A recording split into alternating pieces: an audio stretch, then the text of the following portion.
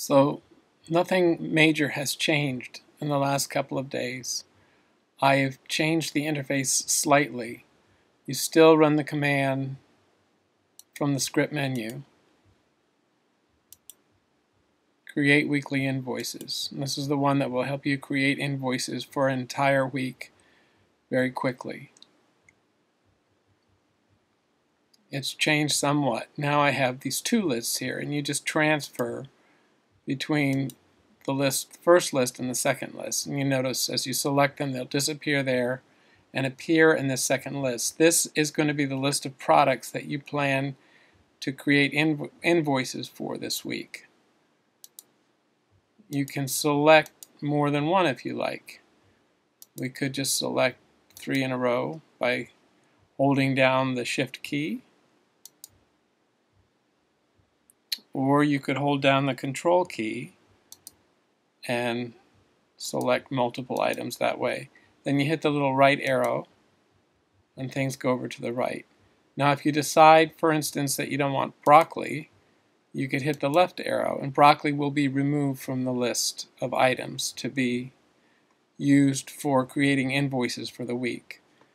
Um, I've also I fixed a bug so that you really if you want to if you want to create invoices for um, week, say 325, this is week 325, so any date within that week will work. So you can just hit the create button when you're ready because it by default selects today's date. Um, or if you want to uh, select another week, you could select any of the dates in this week, which would be 326, 327, and so forth.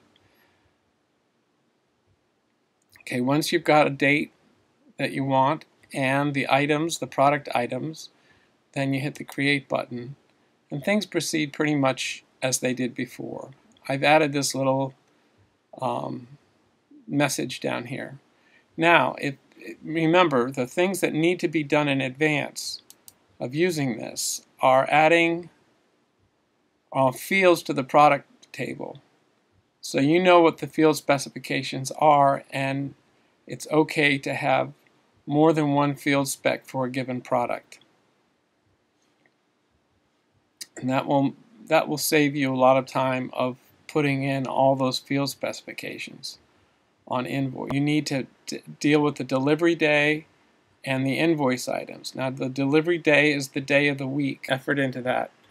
And the dates will be correct. I found there's a little offset depending on the day which January 1st falls on. Well, it fell on a Tuesday this, this year. So I put a little correction of 2 in for 2013. So that, it, that bug is fixed. Um, now these are the invoice items. They ought to be pretty stable for the uh, CSA customers.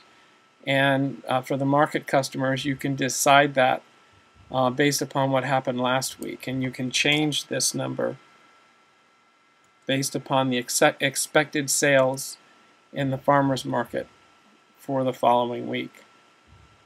So you should change that each week before you create invoices. And that's pretty much it. Those three configuration changes. Um, I won't reiterate what the prepaid is, but that you know, true for prepaid customers falls for for customers that are market customers. But anyway, the, the new ones are delivery day and invoice items. If you do not put in a valid day, uh, the system will skip that that customer for the week and it will put a little error message down there. Um, so for instance, if we forget um, to put in a day, or if we put in a word like XXX or something like that. Then let's see what happens. We'll create weekly invoices and we'll do it for the following week.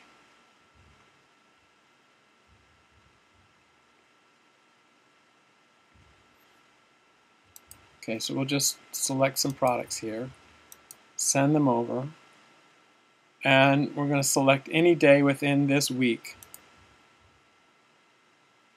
and then we'll create. You'll see a little error message will come up here because of that configuration. So we only got 12 invoices this way this this time.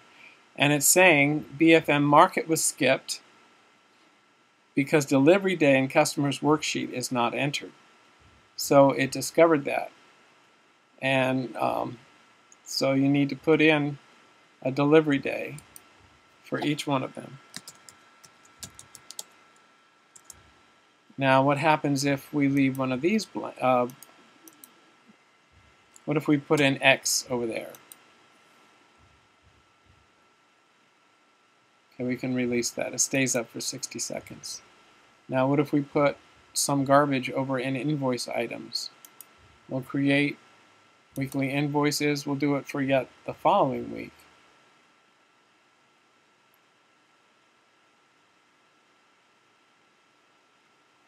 Okay, we'll select select some products, put them in there, and oh, let's not put the coffee in. I'm just showing you that you can just how these, it's called a list builder, how that works.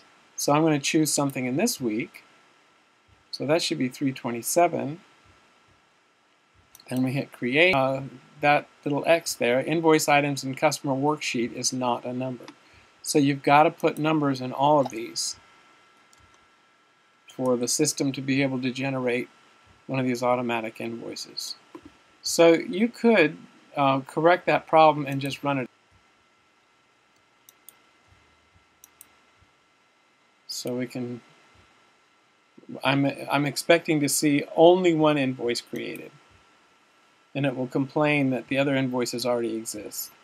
So one invoice was created, and these all the other ones were skipped. The reason they were skipped was because header files already existed for those for week 327 for all those other customers.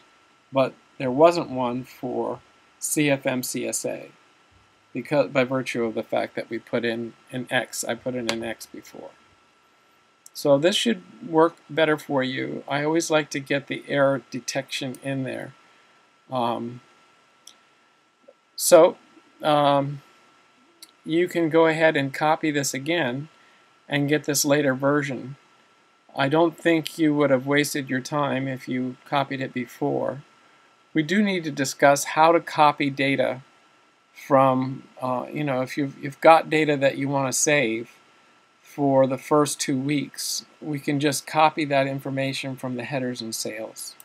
Everything you would need would be in what 325 and 326 so we could just copy that data.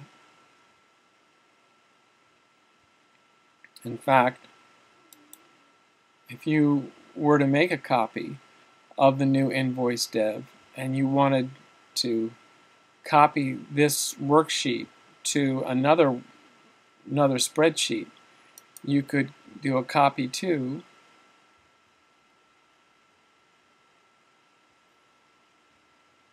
and you can select the name of the spreadsheet that you'd like to copy that worksheet to. And so you could copy it to say invoice test and you could select that and even though invoice test already has a headers file um,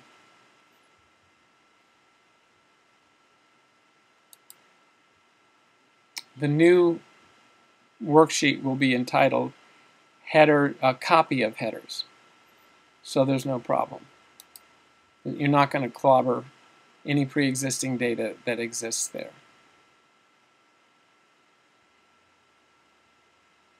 So here's invoice test.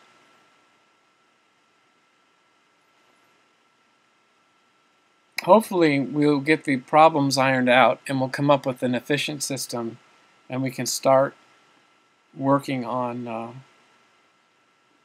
on getting reports and doing management of okay but anyway what am I trying to find here? I'm trying to find this guy's always defeating me. I guess it's just waiting.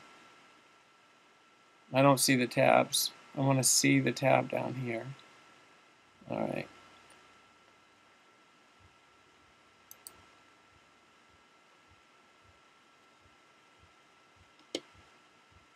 Okay, so there's a copy of headers. So it did not overwrite headers. That's all I was trying to tell you. All right, so we'll call this quits, and I would suggest copying invoice dev. I'll send you email about this new video.